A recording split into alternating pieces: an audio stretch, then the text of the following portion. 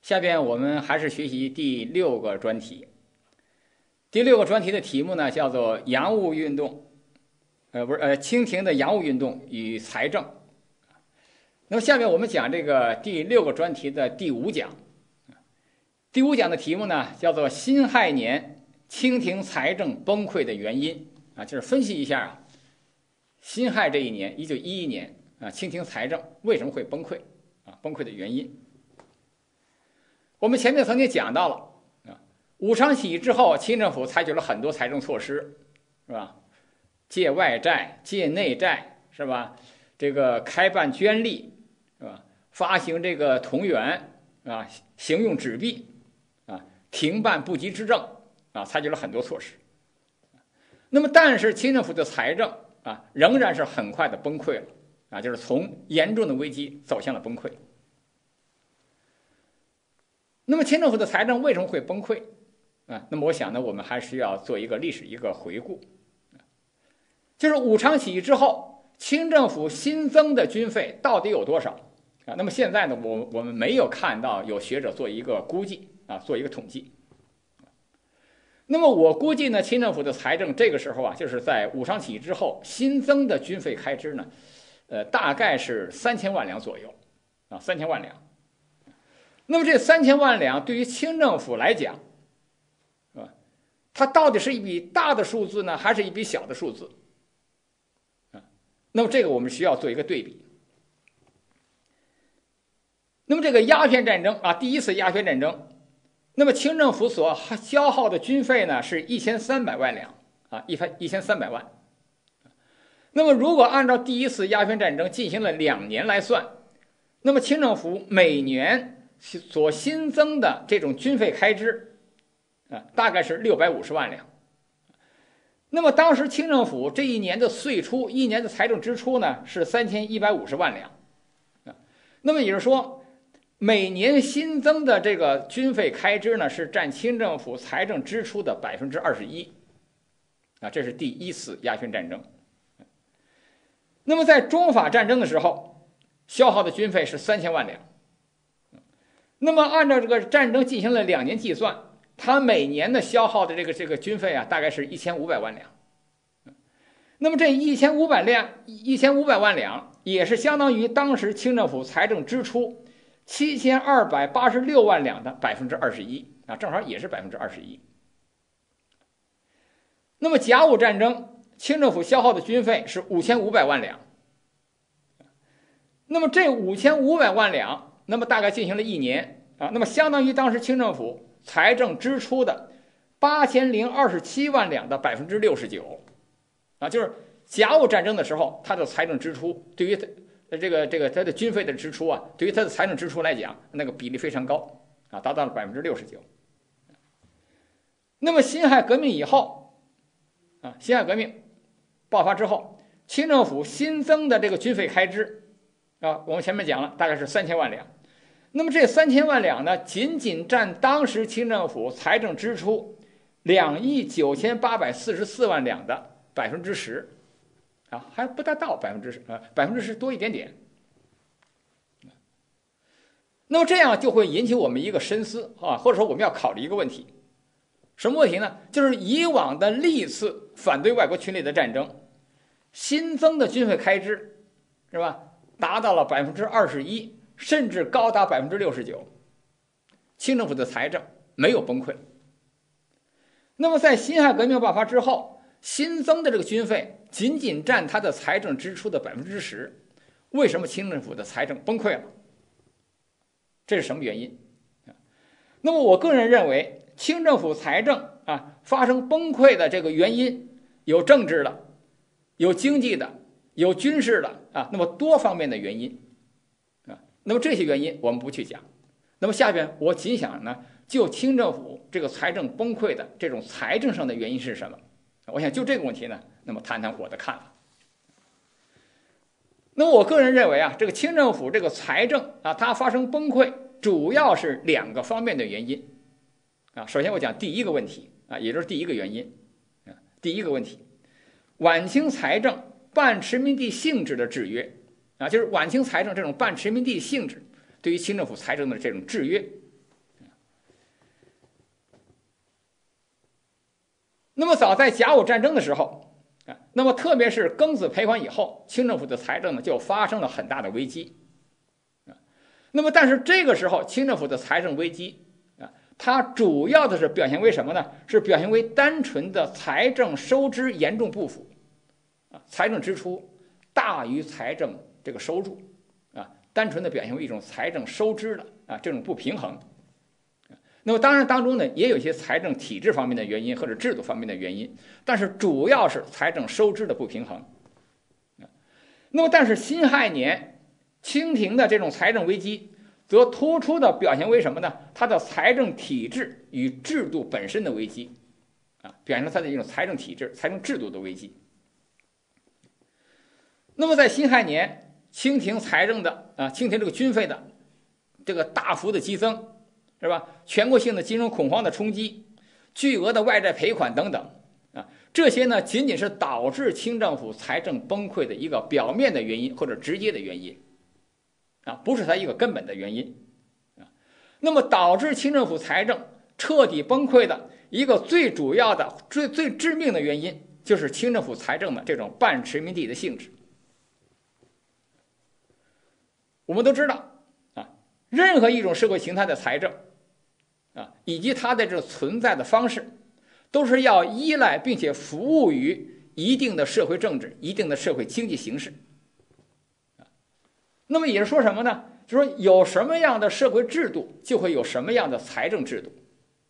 啊，你比方讲，奴隶制的政治状况、经济状况，决定了他的奴隶制的这种财政制度啊，或者财政表现形式，是吧？那么封建的政治状况、封建的经济状况，那么就产生了封建制的这种财政体制。那么鸦片战争之后，中国的社会的政治、经济啊，社会各个方面啊，那么逐渐的半封建半殖民地化，啊，那么这种状况就决定了中国的财政，它也要呈现出这种半殖民地的色彩，啊，半殖民地的性质。那么这个清政府这个财政的半殖民地色彩。是吧？它首先是表现在哪儿呢？首先表现在它的财政收支结构、收支种类发生了重大变化。那么，在这个鸦片战争之前，清政府的这种财政收入主要是来自什么呢？地丁钱粮这个田赋，是吧？那么这项收入呢，几乎几乎呢占了清政府财政收入的三分之二。而清政府的财政支出主要是兵饷、军队的开支，还有什么呢？文武百官的这种俸禄，啊，兵饷和文武百官的俸禄这种支出，大概也占到了清政府财政支出的三分之二。那么也就是说，在这个时候，鸦片战争之前，清政府的财政收入和支出都是一个纯粹性的封建性的啊这种财政的收入和支出。那么，但是鸦片战争之后，情况发生了变化。啊，发生什么变化呢？就是清政府的财政收入除了原来这些项目之外，是吧？又增加了新的这种税收。你比方讲海关税，啊，增加了厘金，增加了像邮电路航啊这种官营官营收业，啊，官官这个官营的这种收入，是吧？那么你比方讲到了这个一九一一年，清政府的海关税收达到了三千五百一十三万两。厘金的收入达到了四千三百一十八万两，啊，官业收入达到了六千二百六十五万两。那么也是说，这三项新的财政收入啊，占了清政府当时的财政收入的一半啊，差不多一半啊。那么是财政收入发生了变化。那么另外，清政府的财政也发，它的财政支出也发生了一个重大变化。什么变化呢？就是这个时候，清政府的财政支出主要是三大项，啊，一个就是军费、军饷的开支，第二个就是清政府办的洋务事业的啊一些这个实业费，第三个叫做息债，就是对外借款啊这个赔款，主要是这么三项啊。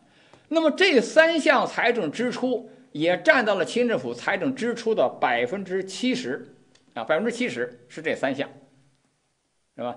军饷、洋务、息债、借债的这个赔款占到了百分之百分之七十。那么这个三项财政支出当中，你比如讲军饷、实业，是吧？它是有助于中国社会的这种发展进步的，啊，但是息债对外赔款，是吧？它会大量的消耗清政府的财政实力，是吧？就是这种大量的赔款的这种财政支出，反映出了清政府财政支出的这种半殖民地性质，是吧？它不再是自己国内的一种正常的一种财政支出，是吧？它是要对外赔款，啊，反映出了中国这种半殖民地的啊这种呃财政的这种支出的这种色彩。啊财政支出的半殖民地色彩。那么，清政府财政的半殖民地化的第二个表现啊，就是什么呢？就是清政府没有权利啊，或者说没有能力来调整某些财政支出，更没有权利调整某些财政收入啊。这是清政府财政，这是清政府财政这个半殖民地化的这个第二个表现。那么，本来是吧？任何一个主权国家啊，都必须或者说。呃，一定会是吧？根据一些客观的需要来调整啊，来调整本国的这个财政的支出和财政收入，是吧？来达到财政收入和支出的一种平衡，是吧？这是一个任何一个主权国家都要做的。那么，但是清政府啊，它的财政的支出的一些项目或者数额，你比方讲海关费、对外交涉费啊，并不是清政府能够自己制定的啊。它很多时候要不同程度的、不同程度的受到外国方面的干预，是吧？这是一些财政的这这个呃这个支出啊。那么另外像赔款啊、外债的这个支出啊，那么更直接的要受制于列强。那么也是说，这个时候清政府的财政支出的很多部分要受制于列强啊。那么这个时候，清政府的很多财政收入也是要受制于列强。你比方讲，海关税、长关税、厘金，是吧？那么这些税收呢，很多时候我们前面讲到了，被指定为中国举借外债的抵押品啊。那么说这些财政收入呢，就并不完全被清政府所利用，是吧？它抵押给了外国列强，是吧？那么也就是说，中国这个。财政这个半殖民地的色彩又表现在了，是吧？中国自己清政府自己没有权利来调整这种自己国内的财政的收入和支出，来达到收入和支出的一种平衡啊。那么这是讲的清政府财政啊，这个半殖民地色彩的这么第二个表现。那么清政府财政半殖民地化的啊第三个表现啊，就是表现在清政府没有权利自行调整海关的税率。来增加财政收入啊，表现在这个方面。我们都知道，中国在鸦片战争之后失去了海关关税的自主权啊，就中国海关的关税到底要要定多少，要和外国方面协商啊，要取得外国方面的同意。那么实际上，中国海关的税收的这个税率一直很低啊。那么清政府呢，也曾经做过一些努力，希望要提高海关的税收。但是遭到了列强的这种抵制。那么，在这个一八六九年到这个呃一八九九年啊，那么三十年当中，中外之间围绕着一个问题，围绕什么呢？叫做财离加税啊，就是裁撤离金，增加海关税啊，达到一个呢切实直百抽五啊，达到一个什么呢？就是对外国货物是吧，一百两白银征收五两白银。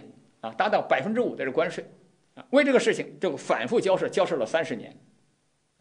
那么，但是由于列强不肯轻易放弃在华取得的这些经济利益，或者是一些这个经济上的一些特权，那么中国呢，始终没有能够达到加税的目的。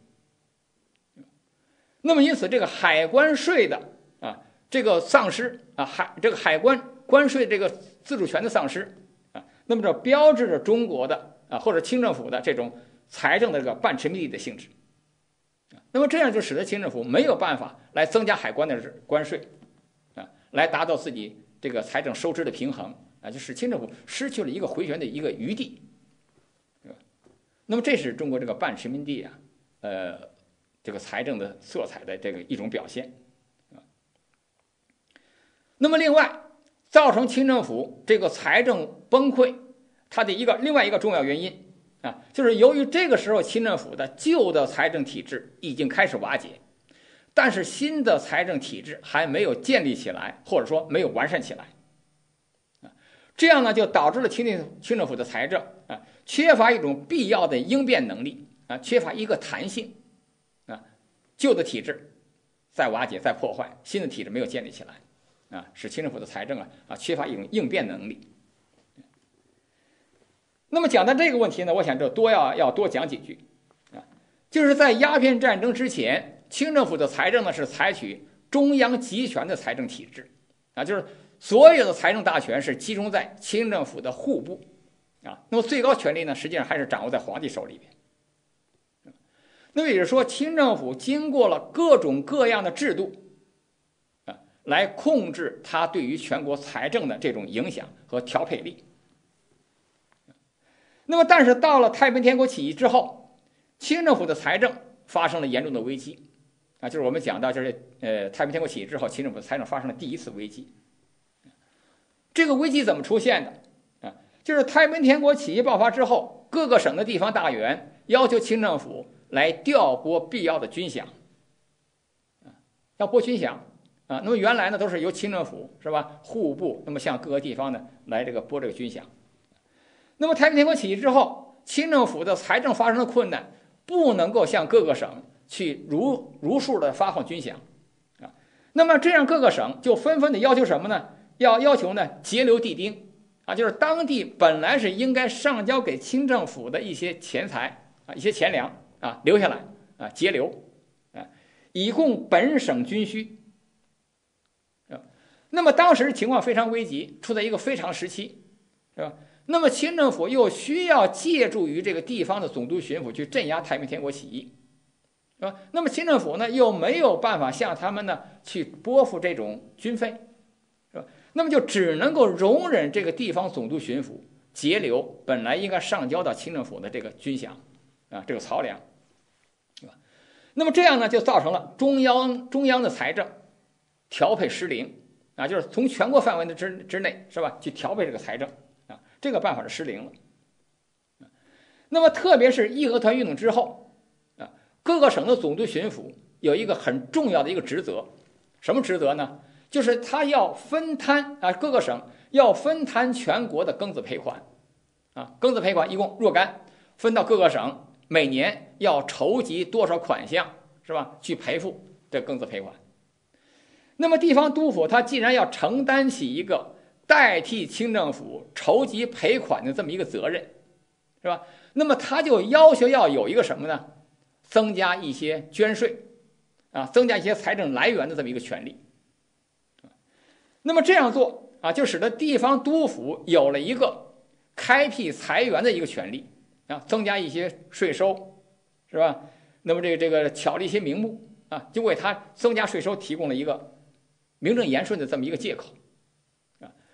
那么不但如此，而且这样做就使得地方财政逐渐形成了啊，就出现了地方财政，使得清政府的原来的这种中央的一级财政变成了中央和地方的二级财政啊。那么清政府啊，这个中央政府控制财政的这个办法啊，这个体制瓦解了。我们都知道啊，封建社会当中这个财政原则啊，当时叫做度支原。